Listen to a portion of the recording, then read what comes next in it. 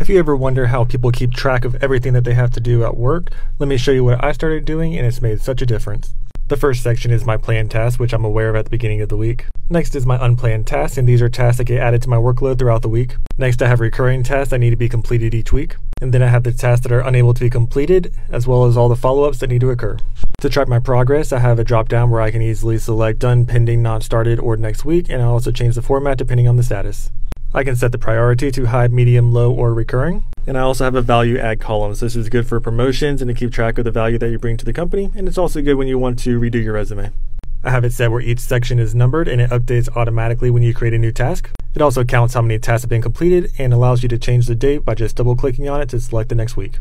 So when I have a task added to my workload, I insert a row in the unplanned task section. And then I add a description of the task to remind myself what to do.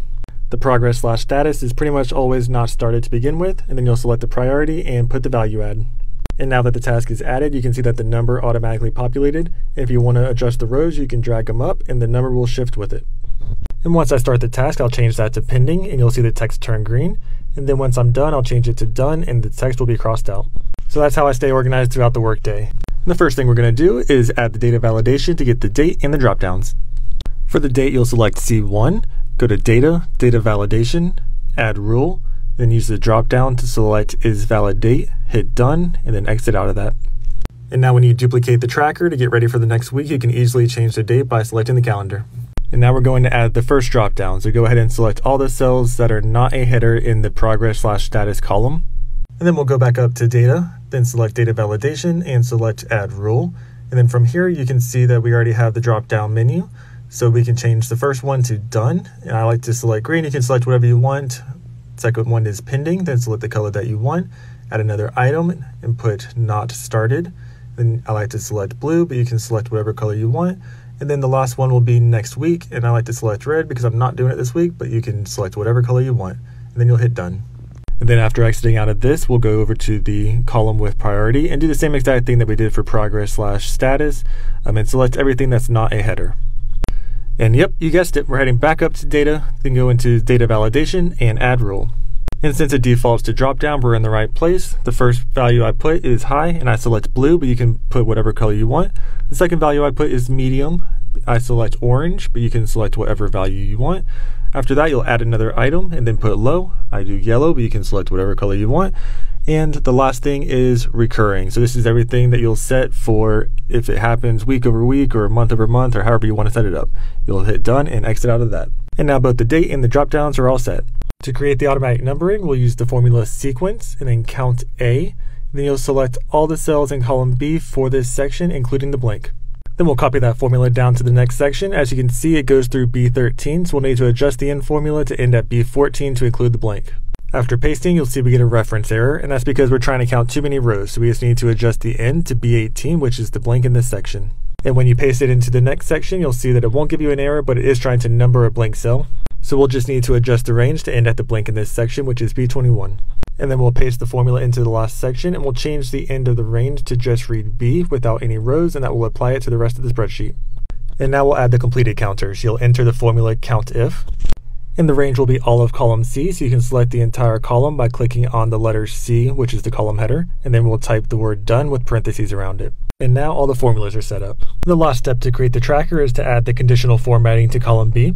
Then we'll select the range starting in B3, and then we'll drag that down. Then we'll go up top to click Format, then Conditional Formatting. We'll use the drop down to select Custom Formula Is, and the formula will be equals C3 equals the word done in parentheses.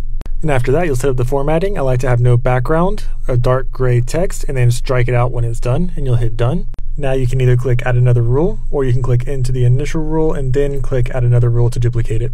And since we duplicated it, it's all set up, so we'll change the word done to pending. And then we'll set up the conditional formatting. So I take away the strikeout, change the font to green, and then make it bold. And then we'll do the same thing one more time. So you'll click into the rule, add another rule, and then we'll change pending to next week. And then we'll do the conditional formatting. For next week, I take away the bold, add a strikeout, and then I change the text to be red. And then once you save that, you can exit out of the conditional formatting. And now you can see once we select done, it will change the format. Same thing with pending and next week. And now your tracker is complete and ready to use. So now I'm going to show you how to use it as well as how to update it week over week. When you have a new task, you'll go to the Unplanned Task section and then click on the row number of the blank row and select Insert one row above. And since the numbering is automatic, you'll start by putting the task description, putting the status as well as the priority, and then putting the value add for this task. And now the task is in there so you don't forget about it later. When it's time to start working on it, you can change the status to pending. You can drag the row up to be next to the other pendings. When it's done, select done and drag it up to be next to done. One thing to note is if you drag something down to the end, a lot of times the number stays, but you can just delete that to return the automation. And since it's the end of the week, I'm going to get this task tracker set up for the next week. So anything I have not started yet, I'm going to change to next week. And then I'll go down to this week's tab and select duplicate. Then I'll drag that tab in front of the current week. Then right click and rename to be the next week. And now that we're on the next week's tab, we can clean up our tasks. So I'll start with any planned tasks I did not get to and I'll copy that and paste it over the first row in the planned section. And then I'll go down to the unplanned section and I'll copy any of the tasks I did not complete and I'll paste that into the planned task section now that I know about them. And then anything that says next week, I'll go ahead and change the status back to not started. And then I'll select all the tasks in the unplanned section and delete them, and delete all the rows except for the lost one. Now you'll see an error message in column A where the tracker should be, and that's because there's no values in column B to count. And if this bugs you like it does me, you can add this if error formula, and this will make it blank unless there's a task in column B. Since the recurring tasks are the same week over week, we can change the status of these tasks back to not started. And then you can do the same thing for the other two sections. You can either delete anything that needs to be deleted or update the task if that's the case. And now everything is set up except for one last item, and that's to double click on the date and change the date to the next week. Now we can go back to the previous tab, and for the recurring task to create tracker for next week, we can mark that as done. So there you go, now you have your new task tracker and you know how to use it to stay organized at work. If you like this video, follow Sheets by Olan for more.